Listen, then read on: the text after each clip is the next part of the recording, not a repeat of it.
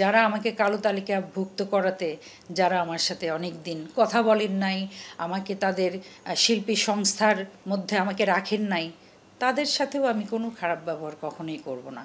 কারণ আমি আমার পারিবারিক শিক্ষাতে এই হিংসা হিংসি দলাদলি এগুলো শিখে বড় হই নাই। গানের জগৎ হবে দল মত নির্বিশেষে সবার, শিল্পীরা সবার। কোনো শিল্পীর হয়তো নিজস্ব কোনো অভিমত থাকতে পারে, রাজনৈতিক অভিমতও থাকতে পারে। কিন্তু তাই বলে তাকে কালো তালিকায় লিস্ট করা, এটা খুবই অন্যায়। এটাতে হয় কি, এটা শিল্পী শিল্পীতে একটা দলাদলি, ঝগড়াঝগড়ি, এগুলো এগুলো মানে তৈরি হয়ে যায়। যখন কেউ একটা একটা সরকারের আন্ডারে যায়, তখন সে তার গান, সেই সেই, সে অনেক বেশি কাজ পায়। তখন যারা মানে বেকার হয়ে যায়, তারা তখন মনে করে যে, এরপরে যখন সরকার আসবে, তখন আমি এত বেশি কাজ করব, আমি একদম প্রতিশোধ নেব। এই প্রতিহিংসা পরায়ণ কিন্তু শিল্পীরা না বেসিকলি শিল্পীরা কখনো প্রতিহিংসা পরায়ণ না। আমরা শিল্পীরা জানি যে, আমার কণ্ঠ আমারই। আমার কণ্ঠ কেউ নিতে পারবে না।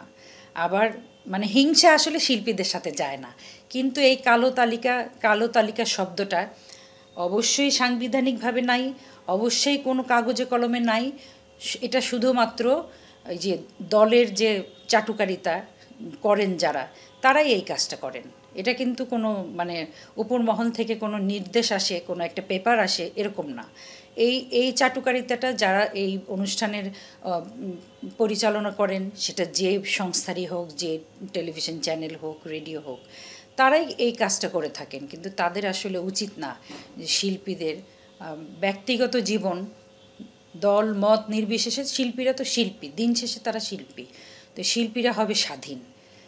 সব মানুষেরই স্বাধীনতার অধিকার আছে।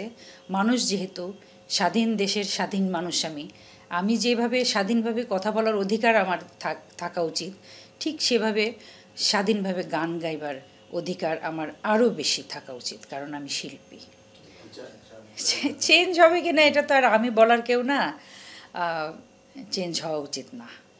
কারণ আমার গলা তো আমারই আছে না? আমি আমি যদি কোনো দেশদ্রোহী গান না গাই।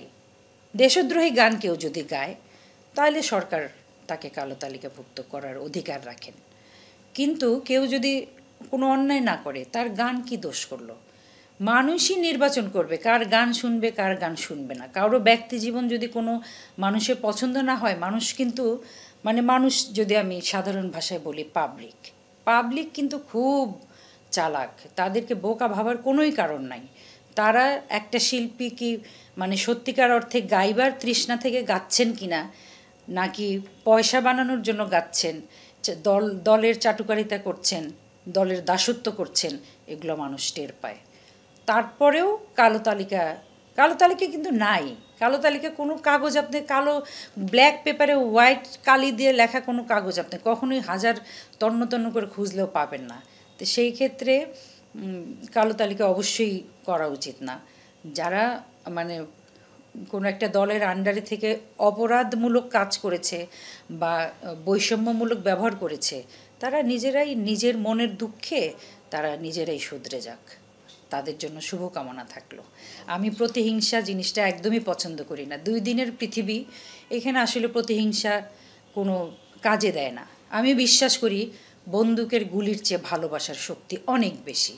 তা আমি যদি সেই মানে যারা আমাকে কালো তালিকাভুক্ত করাতে, যারা আমার সাথে অনেক দিন কথা বলেন নাই, আমাকে তাদের শিল্পী সংস্থার মধ্যে আমাকে রাখেন নাই, তাদের সাথেও আমি কোনো খারাপ ব্যবহার কখনোই করব না। কারণ আমি আমার পারিবারিক শিক্ষাতে এই হিংসা হিংসি দলাদলি এগুলো শিখে বড় হই নাই।